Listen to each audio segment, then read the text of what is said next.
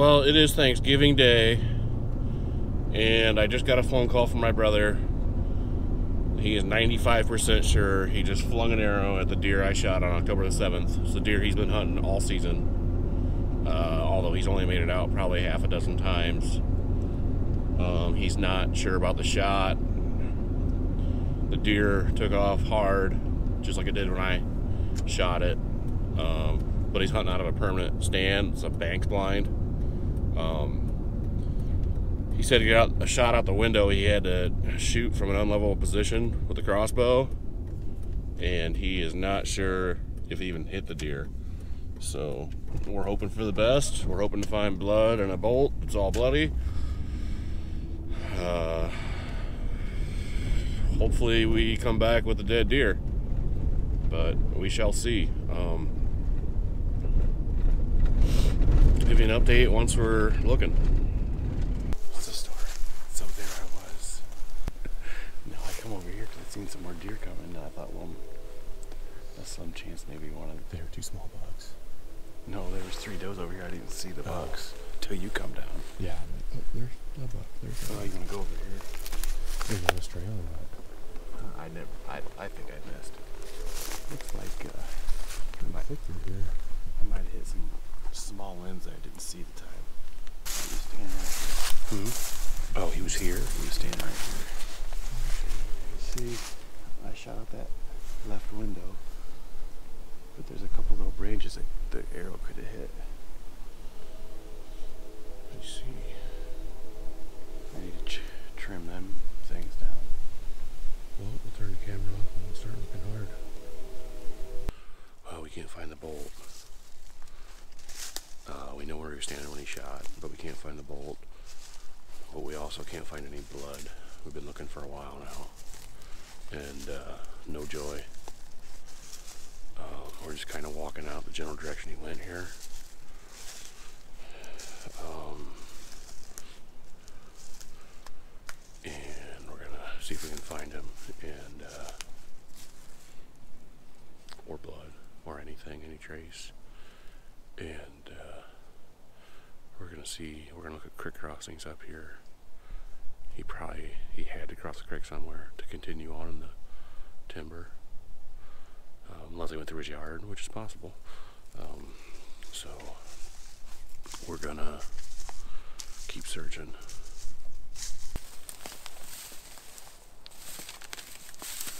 I'd say to either go go in the creek here or go up this path. But I don't. It don't even look like there's fresh tracks here going that way. You know, there'd be deep mud spots. You think? I had to guess, he probably went out the other way, huh?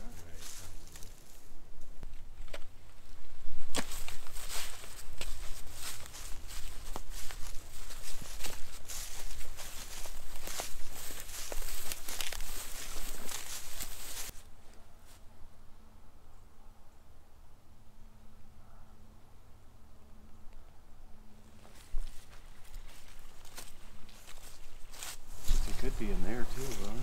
Yeah, it could be. That's where he went when I saw him. And yes, this is his yard, in case you're wondering. But yeah, this is pretty much the same area the buck went to when I shot it, so we'll see. I'm gonna keep looking here and see what we can come up with.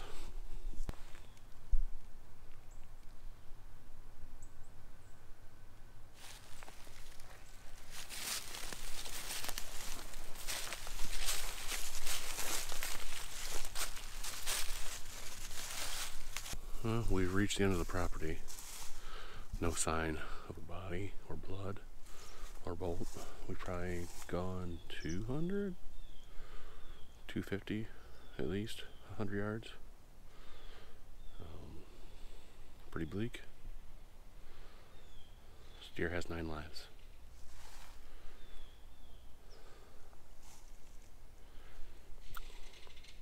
Better luck next time? John Denver's full of shit. What'd you tell me last time when I was tracking it for me? and Better luck next time? I already said that. Better luck next time. I guess we're calling the search off. So gun season starts in four days.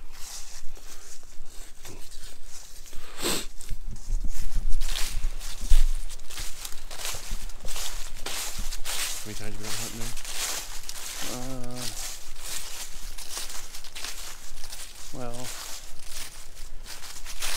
I guess twice out of that uh, So three behind the house, and this is the first time in the woods. Three times. Put a lot of time in, as you can see. Maybe three times over there. I don't remember. Could be the fourth. So, chapter two of this deer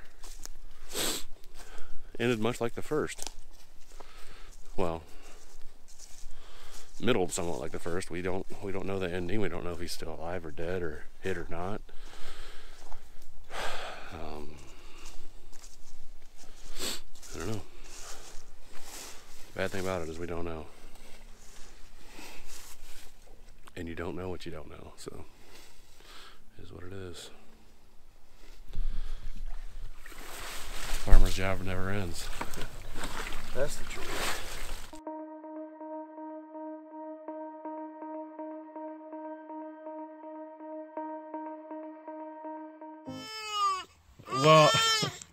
Hey, honey.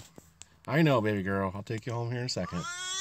Well, the plot is thickened. It is the 29th of November, Friday before gun season. I've got a crying baby in the back seat, and uh, I got a phone call from one of the neighbors that hunt around the area here.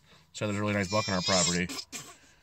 So, being that I've been watching Crying Baby all day, I decided to put her in a car and come out here at dark and uh, glass it up, see if it was still here.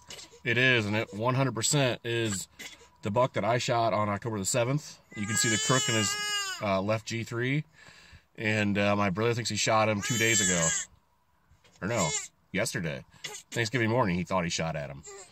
So, um, he has no like video or photo evidence, but he was pretty sure it was him, and there was no reason for that deer to leave his property. So until yesterday, so he's over here on our property now. Um, I'm no doubt betting the neighbors who has a lot of CRP, and I just kind of kicked him out of here because I was on the phone with the window down and baby crying, and I didn't kick him out, but they they turned back towards the fence road, just kind of ran out. They do that all the time. They'll be back out in five minutes, but I mean, there's still 20 deer, 30 deer in this field, so. So I gotta get uh, Eva home. It's been two weeks since I've hung up my bow following a bad shot. There has been no sign of the deer I hit. I once again have a renewed hope of tagging this buck that my family is quickly building a history with. Gun season opens in three days, and the buck is once again within my grasp.